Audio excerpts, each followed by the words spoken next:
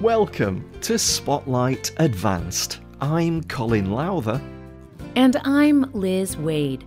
Spotlight uses a special English method of broadcasting. It is easier for people to understand no matter where in the world they live. Wang Deshun walks proudly down a long runway as people watch. He is a model on a catwalk stage at a fashion show. Wang has a strong body and is full of confidence, but he's not like the other young fashion models. He is 79 years old. Many people may think that older people at the end of their lives cannot do much more. However, Wang Deshun is only one of many people who are achieving great things later in their lives. In fact, many people do not even start finding success until they are in their 50s, 70s, 80s, and even beyond. Today's spotlight is on amazing older people showing how to be happy, healthy, and successful in life. We start with more about Wang Deshun. My name is Wang Deshun, born and raised in Shenyang, China. Many people started noticing me after a catwalk fashion show. Some people call me hottest grandpa. Some also said that I am an immediate internet sensation. but you know what? To prepare for this day, I have been getting ready for 60 years. Wang Deshun shared this in a video from Red Start Media. He says that he did not feel successful when he was young or even middle aged. In his 20s, he was a theatre actor and artist. He continued performing and worked in fashion, but at age 49, he was very poor. At the age of 50, he started exercising at the gym. When he was 57, Wang started performing again. It was not until he was 79 that people heard about Wang. He shared his own dreams and encouragement for others. I am 80 this year, and I still have some life in me. I still have some dreams to achieve.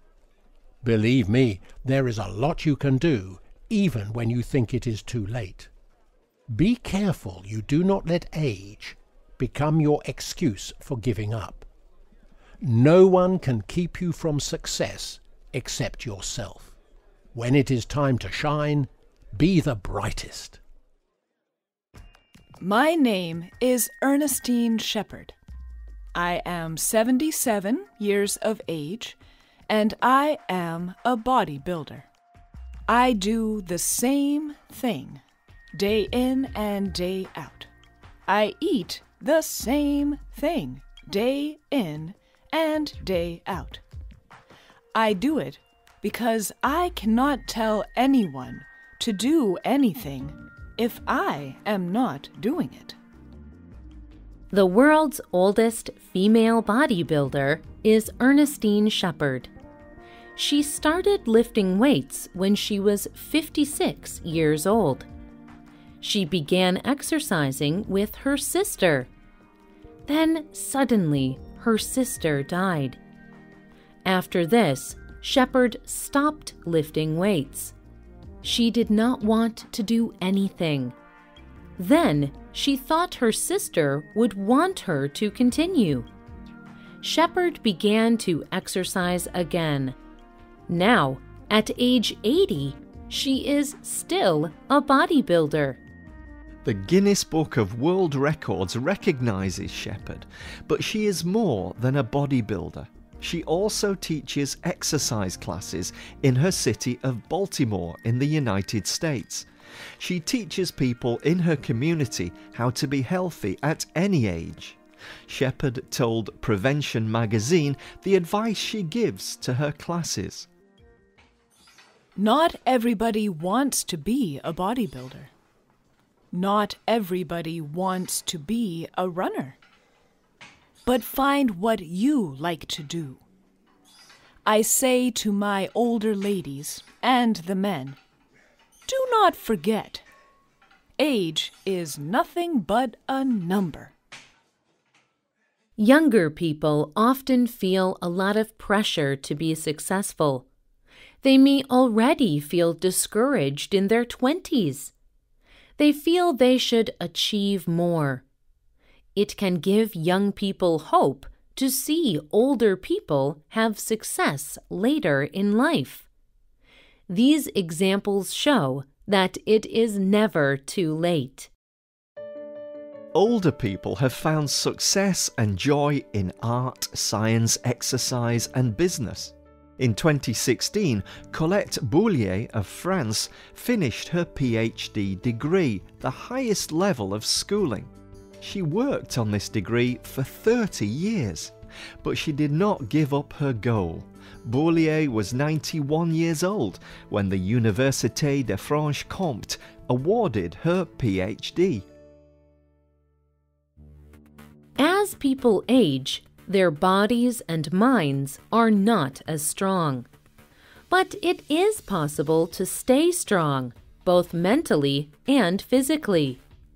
Many people reach goals in sports and physical fitness when they are older.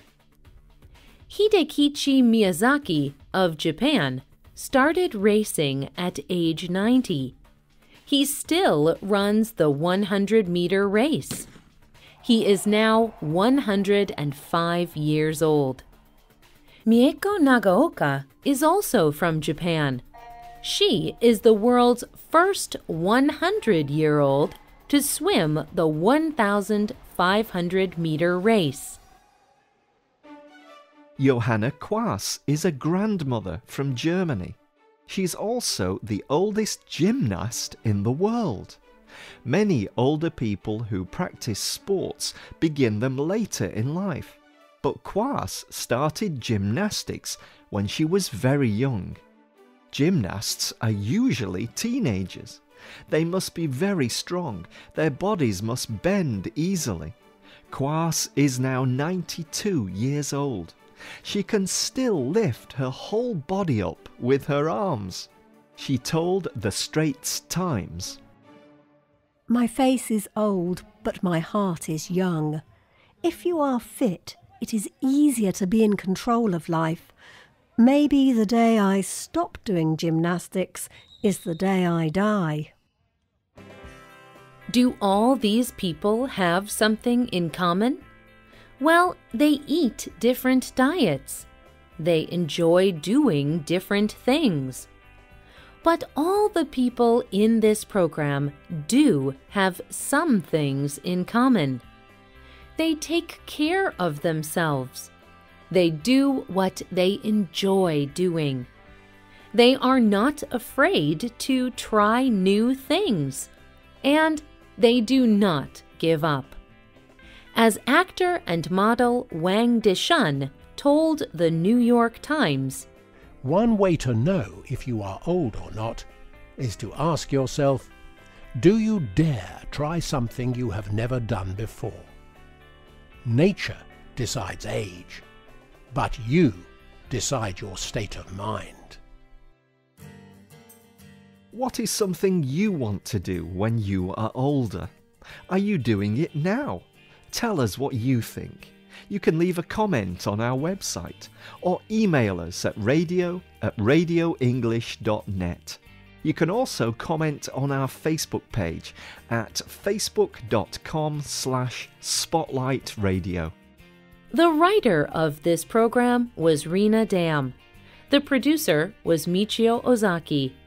The voices you heard were from the United Kingdom and the United States. All quotes were adapted for this program and voiced by Spotlight. You can listen to this program again and read it on the internet at www.radioenglish.net. This program is called Age is Just a Number. Look out for our listening app in the Google Play Store and in iTunes. We hope you can join us again for the next Spotlight programme.